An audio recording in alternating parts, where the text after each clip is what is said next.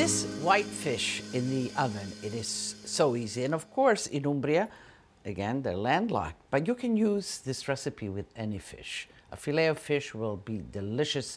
Everybody likes the crispy fried. Well, this is crispy, non-fried and flavorful fish. So let's begin with the topping, which is breadcrumbs, seasoned breadcrumbs. Here have a little bit of oregano. I love buying it this way. You know what you're getting. And this of oregano will go a long way. You just squeeze a little bit each time on a piece of parchment paper or on a plate. And there you go.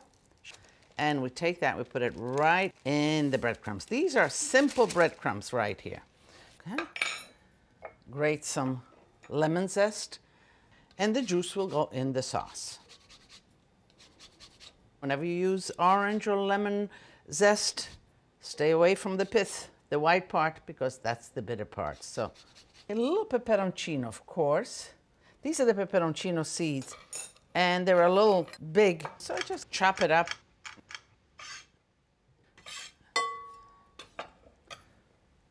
Parsley, salt, and olive oil. And you put just enough olive oil to moisten the breadcrumbs. You don't want them to become cakey. So you just loosen them up and they're moist. So let me, let me show you, see? Just enough oil. They have absorbed the oil and they'll impart the flavor and the oil to the fish. Here we have the white fish, the whole fillets, and again, you can use any fish you'd like. Whitefish is what they use in Umbria. Let's make it in portions, and I guess each one half is fine, that. Leave the skin on, especially with fine fillets like this. I mean, if you have a piece of halibut uh, steak or if you want to do tuna something, then of course the skin is inconsequential. But if you do like this, the fine fish, then you need the skin to hold it together. Let me just salt the fish a little bit. Break up a little bit of those little pockets of juice so that when I squeeze it, they're all ready to come out. Oh, okay. We'll fish them out the pit.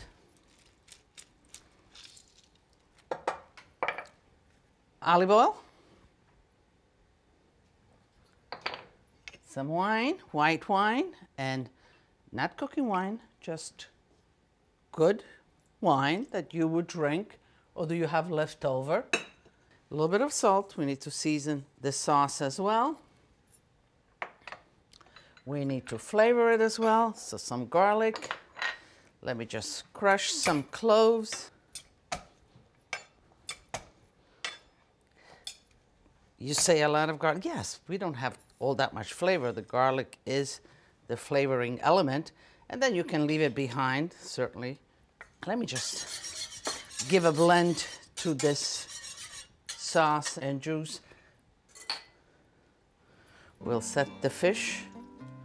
Okay, I'm moving the garlic around so it's not on the bottom. And the fish cooks very quickly, so you don't want a lot of, lot of juice. And this is where we put the breadcrumbs, right on top.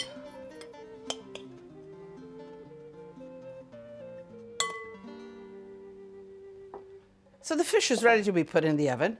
You preheat the oven at 400 degrees, and this is done within 15, 20 minutes. Forms a nice crust, and the juice will be just at the right consistency, and the fish is done. And of course, the fish, as soon as it is ready, you want a nice warm plate. Isn't this plate beautiful? It's a great example of the ceramics that have been made in Umbria for centuries. Let's do a presentation. And the fish, you can see how wonderful it is. The crust is uh, nice and crunchy. The sauce is just right. And we have the beautiful plate. So let's plate it. You could do individual plates or you can do it family style, like I'm doing it right here. Collect all of this sauce and scoop it up. Now, I don't want to put it on top of the bread because I lose the crunchiness. So I'm putting it alongside. Just a little bit of creativity. Seeing all that art gets me inspired. That's it.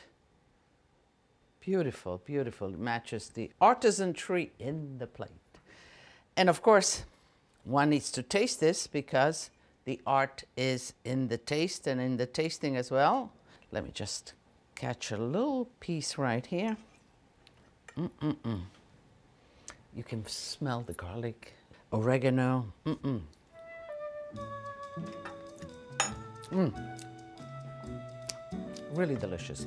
The acidity of the lemon juice of the wine fills in for the mellowness of the fish. Really a delicious dish, a beautiful dish, and a beautiful presentation.